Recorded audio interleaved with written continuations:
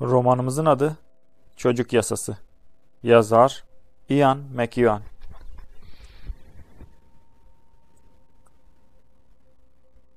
Birin devamı. Jack koltuğuna yerleşmekteydi. Ortaçağ işkencelerini çağrıştıran ahşap ve deri, kabarılı bir koltuktu. Fiona zaten Victoria gotiğinden hazmetmezdi. Şimdi iyice nefret ediyordu. Jack bir ayağını dizine dayadı. Başını bir yana eğerek hoşgörü ya da merhametle Fiona'ya baktı. Fiona başını çevirdi. Yedi hafta bir günde orta çağa çağrıştırıyordu. Eski bir ağır ceza mahkemesinin vermiş olduğu bir hüküm gibi. Savunma gerektirecek bir suçlamayla karşı karşıya olabileceğini düşünmek Fiona'nın canını sıkıyordu. Yıllar boyunca düzenli, şehvetli ve çetrefilsiz iyi bir cinsel hayatları olmuştu. Hafta içi günlerde sabah erken saatte uyanır uyanmaz, iş gününün göz kamaştırıcı dertleri yatak odasındaki kalın perdelerden içeri süzülmeden önce.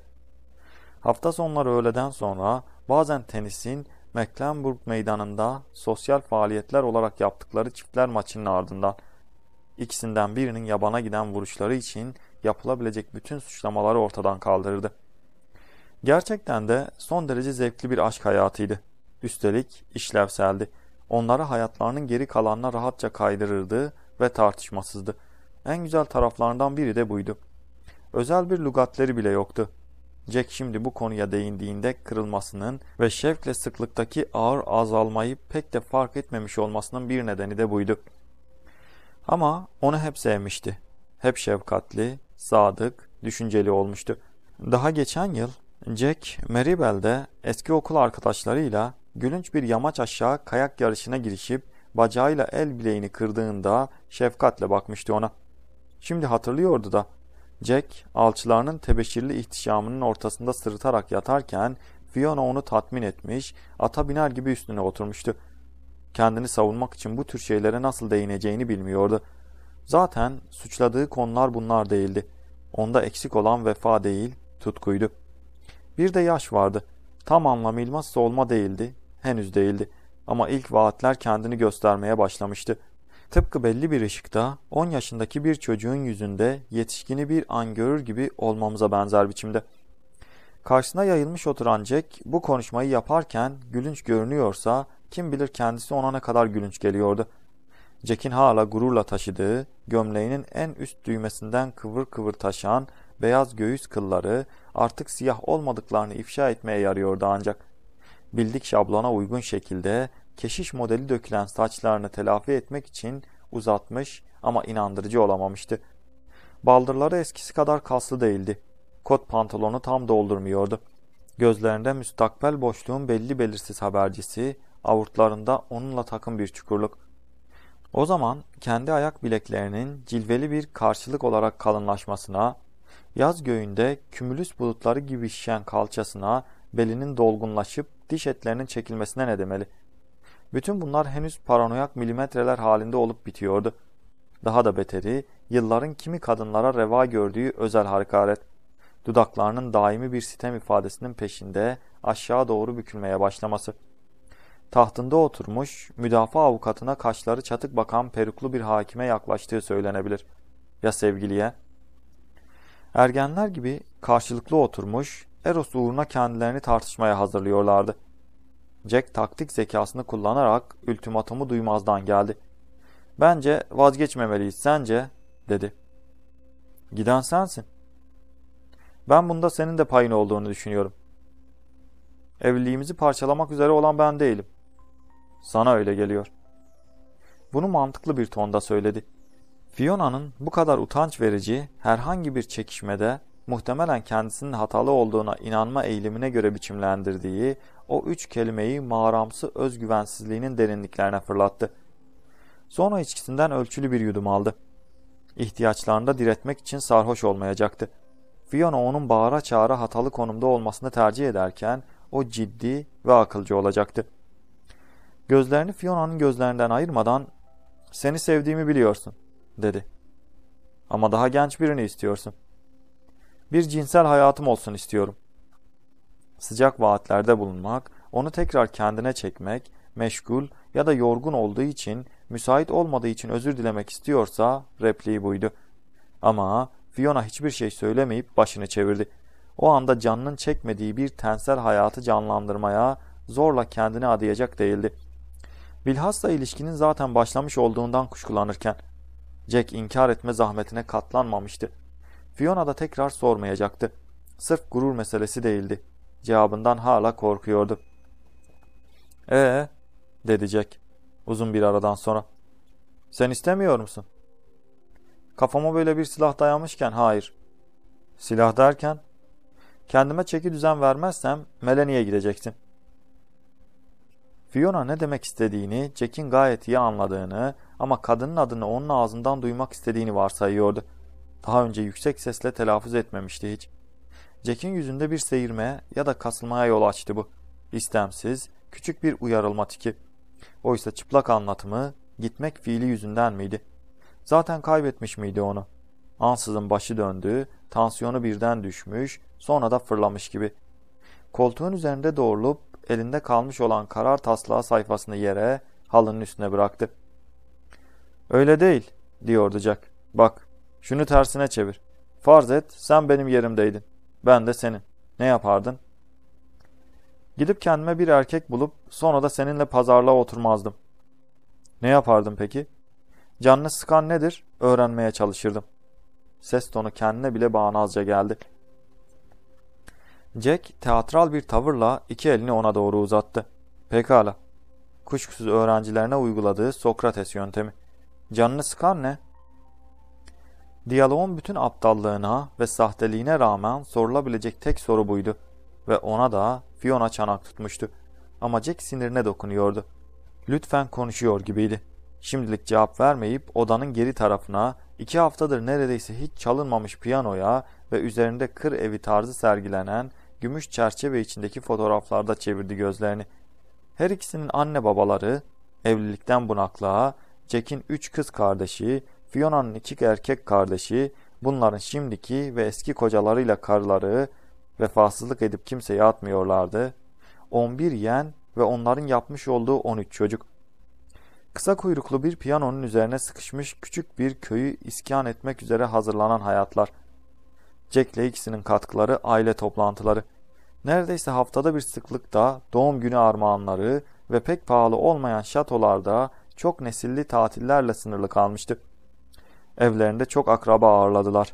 Koridorun sonunda katlanmış portatif yatağın, mama sandalyesinin ve oyun parkının ayrıca üç sepet dolusu çiğnenmiş, solmakta olan oyuncağın durduğu bir sonraki ilaveyi bekleyen bir ardiye vardı. Bu yaz için düşündükleri Ulupul 15 kilometre kuzeyindeki şatoda verecekleri kararı bekliyordu. Kötü basılmış broşüre bakılırsa bir hendek, çalışır halde bir asma köprü ve duvarda çengelleri, demir halkalarıyla bir zindan. Dünün işkencesi bugünün 12 yaş altı için heyecandı. Ortaçağ hükmünü düşündü tekrar. 7 hafta bir gün. Yapışık ikizler davasının son aşamalarında başlamış bir dönemdi. Olayın bütün dehşeti ve trajedisi, ikilemin ta kendisi sadece hakime gönderilen fotoğrafta sergileniyordu. Jamaikalı ve İskoç anne babadan doğma olan bebekler pediatrik yoğun bakım yatağında bir yaşam destek ünitesinin yumağının ortasında ayak uçlu, baş uçlu yatıyordu. Kalçalar yapışık, tek bir ortak gövde, ayrık bacakları omurgalarına dik açıda, açık kollar bir deniz yıldızını andırıyorlardı. Kuvözün kenarına sabitlenmiş mezura bir çaresizlik, fazlasıyla insani bileşimin boyuna 60 santimetre olarak gösteriyordu. Omurilikleri ve kuyruk sokumları birleşik, gözleri kapalı, dört kol havada mahkemenin kararına teslim olmuş. Havari adları Metiv, Mata ve Mark Marcos. Zihin açıklığını teşvik etmemişti. Matthew'in başı şişti. Kulakları pembe tende birer girintiden ibaretti. Mark'ın yeni doğmuşlar için yün beresinin altındaki başı normaldi. Tek bir organları ortaktı. Mesaneleri.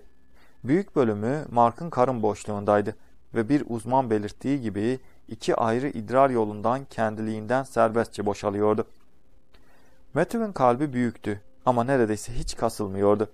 Mark'ın aortu Matthew'inkini besliyor, her ikisi Mark'ın kalbini yaşatıyordu. Matthew'in beyninde ciddi deformasyonlar vardı. ve normal gelişmeyle bağdaşmazdı. Göğüs boşluğunda işlevsel akciğer dokusu eksikti. Hemşirelerden birinin ifadesiyle ağlayacak ciğeri yoktu. Mark normal meme emiyor, her ikisi için beslenip nefes alıyordu. Bütün işi o yapıyordu. Dolayısıyla anormal derecede zayıftı. Yapacak hiçbir bir şeyi olmayan Matthew ise kilo alıyordu. Kendi hallerine bırakılırsa Mark'ın kalbi aşırı yorgunluktan er veya geç iflas edecekti. İkisi de ölecekti. Matthew'un 6 aydan fazla yaşaması düşük ihtimaldi. Öldüğünde ikisini de beraberinde götürecekti. Londra'daki bir hastane normal ve sağlıklı bir çocuk olma potansiyeline sahip Mark'ı kurtarabilmek için acilen ikizleri ayırma izni almaya çalışıyordu. Ayırmak için cerrahlar ortak aortu kıskaçlayıp kesmek ve böylece Matthew'yu öldürmek zorundaydılar. Ardından Mark'a karmaşık rekonstrüksiyon işlemleri uygulanacaktı. Jamaika'nın kuzey sahilinde bir köyde yaşayan sofu katolik, sevgi dolu anne baba, inançlarının verdiği sükunetle cinayeti onaylamayı reddediyordu. Canı Tanrı verirdi ve ancak Tanrı alabilirdi. Fiona'nın hatırasının bir bölümünü konsantrasyonunu yönelik saldırı oluşturuyordu. Bitmek bilmeyen, feci bir şamata, yüzlerce araba alarmı, yüzlerce kudurmuş cadı, çığlık çığlığa manşetler, klişesini cisimleştiriyordu. Doktorlar, rahipler, televizyon ve radyo sunucuları, gazete yazarları, meslektaşlar, akrabalar, taksi şoförleri, genelde ulusun tamamı fikir sahibiydi. Anlatının unsurları etkileyiciydi. Trajik bebekler, çocukların yanı sıra birbirlerini de aşkla seven iyi kalpli, vakur ve belagatli bir anne, baba, hayat, sevgi, ölüm ve zamana karşı yarış. Maskeli cerrahlar doğaüstü inanışa karşı. Benimsenebilecek tutumlar yelpazesine gelince bir uçta laik faydacılığa inanmışların görüşü vardı. Yasal ayrıntılara sabırları yoktu ve kolay bir ahlaki denklem nimetine sahiplerdi. İki ölü çocuktansa bir çocuğu kurtarmak yeğdir. Öteki uçta Tanrı'nın varlığına dair kesin bilginin yanı sıra iradesini de kavrayanlar bulunuyordu. Fiona, temiz mahkemesi hakimi Lord Ward'dan alıntı yaparak karar metninin açılış cümlelerinde taraflara hatırlatmada bulunmuştu. Bu mahkeme ahlak değil hukuk mahkemesidir. Karşı karşıya olduğumuz duruma, başka örneği olmayan bir duruma denk düşen hukuk ilkelerini bulup uygulamakla yükümlüyüz. Bu korkunç yarışmada arzulanan veya diğeri kadar arzulanmaz olmayan tek bir sonuç vardı. Ama bu sonuca varacak yasal bir yol bulmak kolay değildi. Fiona zaman kısıtlamasının baskısı altında gürültülü bir dünya onu beklerken bir haftayı ve 13 bin kelimeyi doldurmasına ramak kalmışken makul bir yol bulmuştu. En azından mühleti daha da kısa olan temyiz mahkemesi onun karar metnini teslim ettiğinin ertesi günü hükmünü makul bulduğunu ima etmişti. Ne var ki bir hayatın diğerinden daha değerli olduğu varsayılamazdı. İkizleri ayırmak, Matthew'u öldürmek demekti. Ayırmamaksa ihtimal nedeniyle her ikisinin ölümüne yol açacaktı. Hem yasal hem de ahlaki hareket alanı kısıtlıydı ve mesele ehvenişer olarak tanımlanılıydı. Bununla birlikte hakim Matthew'ün menfaatini gözetmek zorundaydı. Ölümün menfaatini olmayacağı kesindi. Ama hayat seçeneği de yoktu. Beyni iptidaiydi. Akciğeri yoktu. Kalbi ise işe yaramıyordu. Muhtemelen acı çekiyordu ve ölüme mahkumdu. Üstelik yakın bir tarihte. Fiona, temyiz mahkemesinin kabul ettiği özgün bir formül geliştirerek ikizinin aksine Matthew'ün menfaati olmadığını ileri sürmüştü. Ancak ehvenişer tercih edilir olsa da yasaya aykırı olabilirdi. Matthew'ün bedenini yarıp aortu kesmek yani cinayet nasıl haklı gösterilebilirdi? Fiona hastane avukatının ısrarla kendisine kabul ettirmeye çalıştığı fikri ikizleri ayırmanın Matthew'u yaşam destek ünitesinden, onun yaşam destek ünitesi Mark'tı, ayırmaya benzetilebileceği fikrini reddetmişti. Ameliyat tedaviden vazgeçilmesi olarak değerlendirilmeyecek kadar saldırgan bir müdahaleydi. Matthew'ün bedensel bütünlüğüne tecavüzdü. Fiona argümanı bunun yerine zorunluluk doktrinine dayamıştı. İçtihat hukuku kapsamında bu kavrama göre hiçbir parlamentonun tanımlamak istemeyeceği sınırlı sayıda bazı koşullarda daha büyük bir felaketi önlemek için ceza yasasını çiğnemek caizdi. Fiona'nın örnek gösterdiği davada bir uçağı Londra'ya kaçıran, yolcular arasında terör estiren adamlar tamamen suçsuz bulunmuştu. Çünkü kendi ülkelerindeki zulümden kaçmak amacıyla hareket etmişlerdi. En önemli mesele olan niyete gelince, ameliyatın amacı Matthew'u öldürmek değildi, Mark'ı kurtarmaktı. Matthew müthiş çaresizliğiyle Mark'ı öldürmekteydi. Doktorların Mark'ın yardımına koşup ölümcül tehdidi ortadan kaldırmalarına izin verilmeliydi. Matthew ayrılığın ardından kasten öldürüldüğü için değil, kendi başına gelişimini sürdürmesi mümkün olmadığı için ölecekti. Temyiz mahkemesi kararının onaylandı. Anne babanın itirazı reddedildi ve iki gün sonra sabah saat 7'de ikizler ameliyathaneye alındı. Fiona'nın en değer verdiği meslektaşları onu özellikle arayıp bularak tebrik ettiler ya da özel bir dosyada saklamaya layık buldukları mektuplar yazdılar. İşin içindekilerin görüşü kararın doğru ve incelikli olduğu yönündeydi. Mark'ın rekonstrüksiyon ameliyatları başarılıydı. Kamunun ilgisi azalıp başka konulara yöneldi.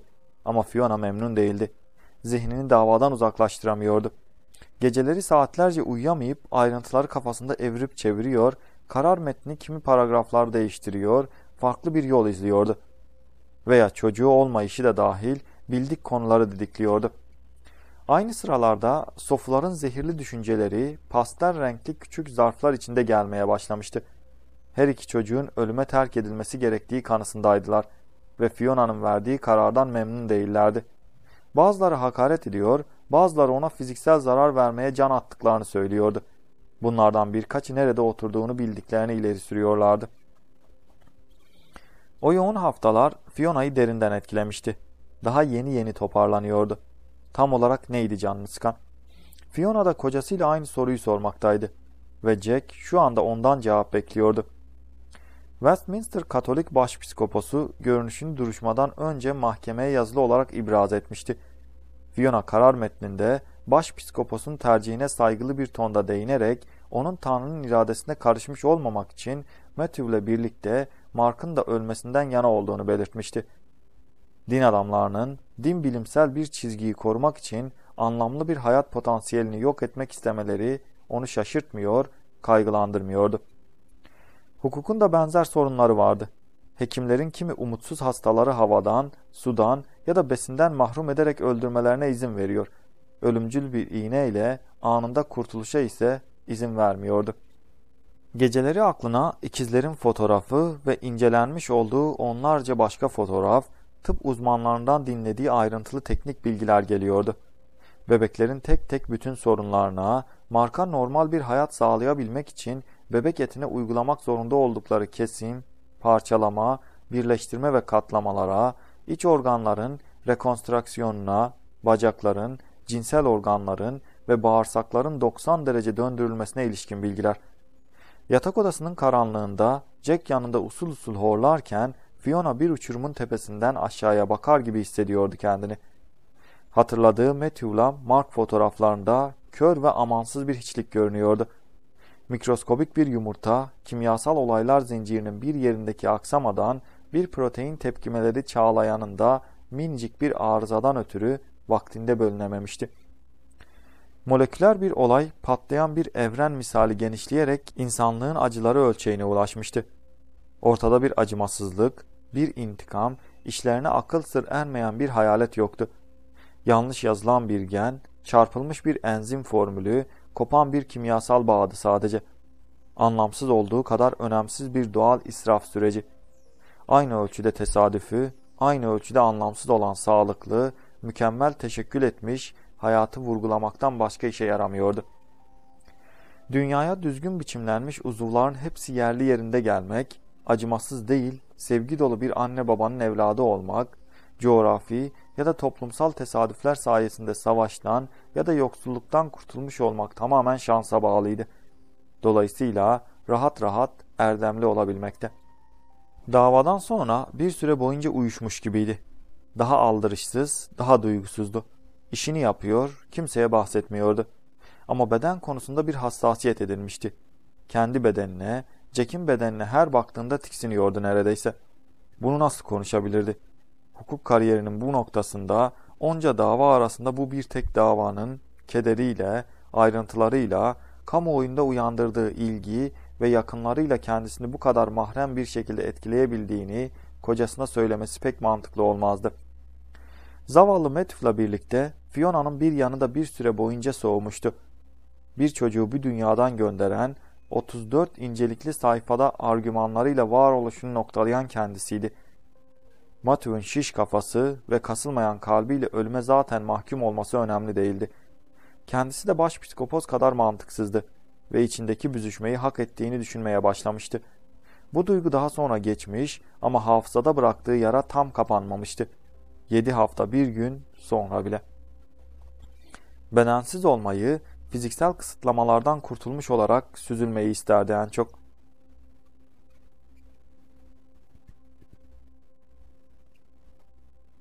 Jack'in bardağının cam sehpaya değince çıkardığı sesle salona ve kocasının sorusuna döndü. Jack gözünü ayırmadan ona bakıyordu. Fiona bir itirafname düzmeyi becerebilse bile itiraflık halde değildi. Herhangi bir zaaf sergilemek de istemiyordu. Yapılacak işi vardı, karar metninin sonuç bölümünü okunacaktı. Melekler bekliyordu. Mesele Fiona'nın ruh hali değildi. Sorun kocasının yapmakta olduğu seçim ve şu anda uyguladığı baskıydı. Fiona birden öfkelendi yine. Son kez soruyorum Jack. Onunla görüşüyor musun? Cevap vermezsen evet diye kabul edeceğim. Ama Jack de ayaklanmış, ondan uzaklaşarak piyanoya doğru yürüyordu. Orada durdu, bir eli piyanonun açık kapağına dayalı halde dönmeden önce sabrını topladı. O anda aralarındaki sessizlik genişledi, yağmur dinmişti. Parktaki meşe ağaçları sessizdi. Açık konuştuğumu sanıyorum. Senden bir şey gizlemek istemiyorum. Öğle yemeği yedik birlikte. Bir şey olmadı. Önce seninle konuşmak istedim. İyi, konuştun işte. Cevabını da aldın. Şimdi ne olacak? Şimdi sen anlat. Sana ne olduğunu. Bu öğle yemeği ne zamandı? Neredeydi? Geçen hafta işte. Büyütülecek bir şey değil. Sadece ilişkiye dönüşecek bir şey. Jack odanın karşı tarafında durmaya devam ediyordu. Durum bu dedi. Ses tonu düzdü. Makul bir adam üstüne varla varla bitkin düşmüş. İnanılmazdı. Bu teatral pozları yedirebileceğini sanıyordu. Fiona'nın gezici hakimlik yaptığı dönemlerde kimilerinin ağzında bir iki diş kalmış, yaşlanmakta olan ve okuma yazma bilmeyen sabıkalılar bile huzuruna çıktıklarında sanık sandalyesinde yüksek sesle düşünerek bundan daha başarılı bir performans sunmuşlardı. Durum bu diye tekrarladı Jack. Üzgünüm. Neyi mahvetmek üzere olduğunun farkında mısın? Ben de aynı şeyi sana söyleyebilirim. Bir şeyler oluyor, sen bana söylemiyorsun. Bırak gitsin, dedi bir ses. Fiona'nın kendi sesi, düşüncelerin arasına girerek.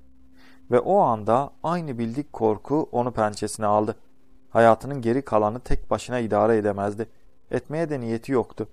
Yaşlı olan iki yakın arkadaşı boşanma nedeniyle uzun zamandır kocalarından yoksundular ve kalabalık bir mekana tek başlarına gitmekten hala nefret ediyorlardı. Ayrıca sosyal avantajın ötesinde Jack'i sevdiğini de biliyordu. Ama o sevgiyi şu an hissetmiyordu. Senin kusurun, dedi Jack odanın karşı tarafından. Kendinle ilgili açıklama yapman gerektiğini asla düşünmemen. Sen benden uzaklaştın. Fark ettiğimi, aldırdığımı anlamış olmalısın. Ancak geçeceğini düşünsem ya da sebebini bilsem katlanabilirim herhalde. Yani... Bu noktada Jack ona doğru yürümeye başlamıştı. Ama Fiona varacağı sonucu öğrenemeden giderek artan sinirinin bir cevaba dönüşmesine fırsat olmadı. Çünkü o anda telefon çaldı. Fiona düşünmeden açtı telefonu. Nöbetçiydi. Gerçekten de asistanı Nigel Pauling'di arayan. Sesi her zamanki gibi tereddütlü, kekemeliğin sınırında ama daima verimli çalışırdı ve hoş bir mesafeliliği vardı. Bu saatte rahatsız ettiğim için özür dilerim, sayan neydim? Önemli değil, söyle. Wandsworth Edith Cavell Hastanesi'nin vekilinden telefon geldi. Kanserli bir hastaya acilen kan nakli yapmaları gerekiyormuş. 17 yaşında biri olan. Kendisi de, annesiyle babası da onay vermeye yanaşmıyor. Hastane bu durumda. Niye yanaşmıyorlar? Yahova'nın şahitleriymişler Sayın Leylim. Anladım. Hastane onların arzusu hilafına hareket etmeyi yasaklaştıracak bir mahkeme kararına ihtiyaç duyuyor. Fiona saatine baktı. On buçuğu biraz geçiyordu. Ne kadar zamanımız var? Çarşambadan sonra tehlikeli olacağını söylüyorlar. Son derece tehlikeli. Fiona etrafına bakındı. Jack salondan çıkıp gitmişti. Öyleyse salı günü saat 14'te acil duruma listesini al, dedi. Davalılara tebligatta bulun. Hastaneye talimat ver, ebeveyni bilgilendirsinler. Başvuru hakları olacak. Oğlana hukuki temsil yetkisi olan bir vasi tayin ettir. Hastaneye talimat ver. En geç yarın saat 16'da yazılı ifadelerini ibraz etsinler. Görevli onkolog tanık ifadesi ibraz edecek. Fiona'nın zihni bir an boşaldı. Boğazını temizleyip devam etti. Kan ürünlerinin niçin gerekli olduğunu öğrenmek isteyeceğim. Anne baba da ifadelerini salı günü öğlene kadar ibraz etmek için ellerinden geleni yapsınlar. Hemen ilgileniyorum. Fiona pencereye yaklaşıp meydana boş boş baktı.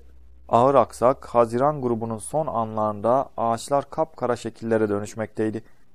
Sarı sokak lambaları şimdilik kaldırımda birer daireden başka yeri aydınlatmıyordu. Pazar akşamı trafiği hafiflemişti. Gerris Inn yolunda High Holborn'da hiçbir ses gelmiyordu kulağına.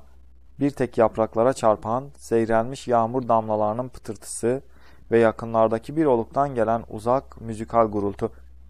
Aşağıda komşunun kendisinin bir su birikintisinin etrafında özenle dolaşıp çallığın altında karanlığa dalarak gözden kayboluşunu izledi. Jack'in çekilmiş olması onu rahatsız etmemişti. Aralarındaki konuşma eziyetli bir açık sözlüğe doğru gitmekteydi.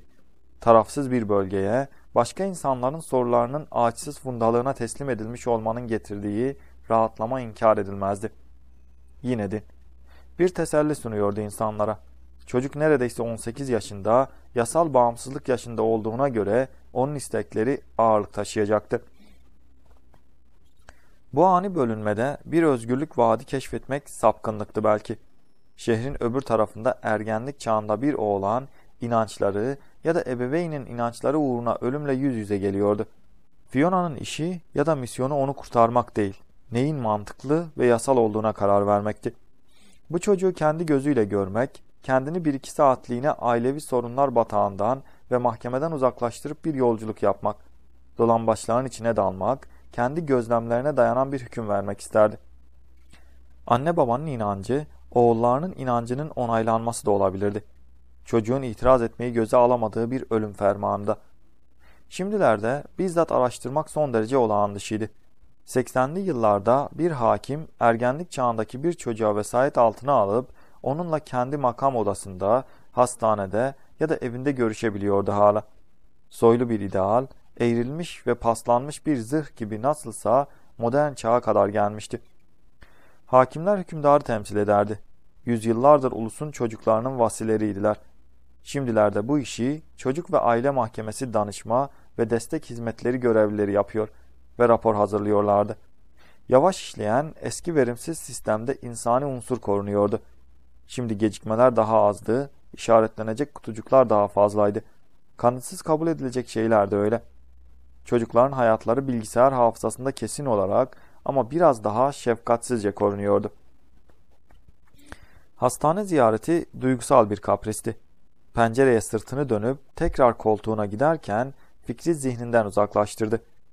Sabırsızca iç çekerek oturdu ve Stanford Hill'li Yahudi kızlarla çekişme konusu olan mutlulukları meselesindeki karar metni eline aldı. Son sayfalar sonuç bölümüne yine elindeydi. Ama şimdilik kendi yazdıklarına bakacak gücü bulamıyordu kendinde. Bu ilk değildi. Daha önce de bir davada kendisinin yer almasının saçmalığını, anlamsızlığını düşünüp geçici olarak felce uğradığı olmuştu. Çocuklarına okul seçen bir anne baba, düşmanca bir fikir ayrılığıyla fazla paranın zehirli bileşimi, özel hayata ait masum, önemli, olağan bir meseleyi devasa bir bürokrasi çarkına dönüştürmüştü. Hukuki evrakla dolu klasörler o kadar çok ve ağırdı ki mahkemeye ancak tekerlekli kitaplıklarla getirilebiliyordu. Alimane münakaşalar, usule ilişkin duruşmalar, ertelenen kararlar. Hengamenin tamamı dengesiz, iyi bağlanmamış bir sıcak hava balonu gibi yargı hiyerarşisinin içinde ağır mı ağır yükseliyordu. Anne baba anlaşamıyorsa hukuk istemeye istemeye de olsa karar vermek zorundaydı. Fiona bir nükleer bilimcinin ciddiyeti ve işleyişe bağlılığıyla mahkemeye başkanlık edecekti. Aşkla başlayan ve nefretle biten bir süreç hakkında hüküm verecekti. Mesele aslında bir sosyal hizmet görevlisine devredilmeliydi. Makul bir karara varması yarım saat sürerdi.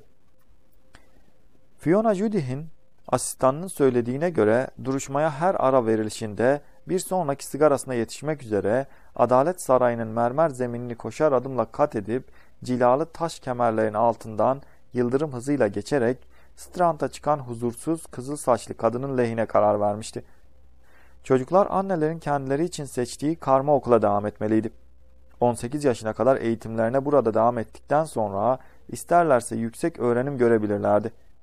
Karar metri Haredi cemaatine kadim gelenek ve törenlerinin sürekliliğine saygı sunuyor, cemaate özgü görüşler konusunda bu görüşlere içtenlikle inanıldığının bariz olduğunu saptamasının ötesinde mahkemenin bir yorumu olmadığını ekliyordu.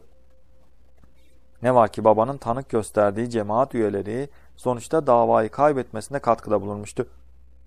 Cemaatin saygın bir üyesi belki fazlasıyla gururlu bir tonda Haredi kadınlarından beklenen şeyin kendilerini güvenli bir yuva kurmaya adamaları olduğunu ve 16 yaşından sonraki eğitiminin yerinde olmadığını söylemişti. Bir başkası oğlanların bile nadiren meslek sahibi olduklarını söylemişti. Bir üçüncüsü kızlarla oğlanların saflıklarını koruyabilmeleri için okulda birbirlerinden tamamen ayrı tutulmaları gerektiği görüşünde biraz fazla ısrarlı davranmıştı.